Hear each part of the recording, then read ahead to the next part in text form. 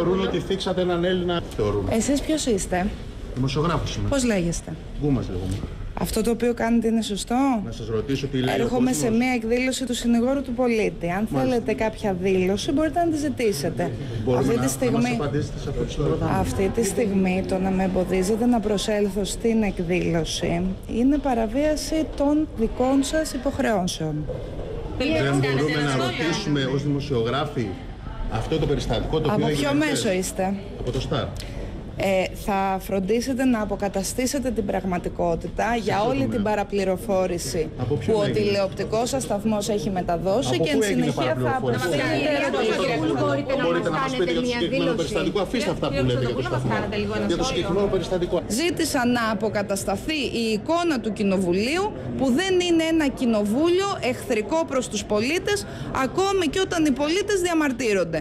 Θα περίμενα λοιπόν αυτά τα θέματα να είναι που αναδεικνύονται τα δίκαια αιτήματα, οι προσπάθειες των αρμοδίων υπουργών να αντιμετωπίσουν μια κατάσταση που δημιούργησαν τα μνημόνια και όχι να αποπροσανατολίζεται η συζήτηση και όχι να δημιουργούνται εντυπώσεις με μια άνευ προηγουμένου εκστρατεία παραπληροφόρησης την οποία ε, οργανώνουν εκείνα τα μέσα ενημέρωσης τα οποία έχουν επωφεληθεί και έχουν οργιοδός στην πραγματικότητα ωφεληθεί από μια χαριστική πολιτική των μνημονιακών περιόδων διότι την ώρα που δεν είχαν οι, οι καρκινοπαθείς φάρμακα την ώρα που δεν υπήρχαν φάρμακα στα νοσοκομεία κάποιοι τηλεοπτικοί σταθμοί δεν πλήρωναν τις φορολογικές τους υποχρεώσεις και θα χαρώ πολύ να δω ότι αυτό που μόλις τώρα είπα για να δούμε αν έχουμε ελεύθερη ενημέρωση στη χώρα μας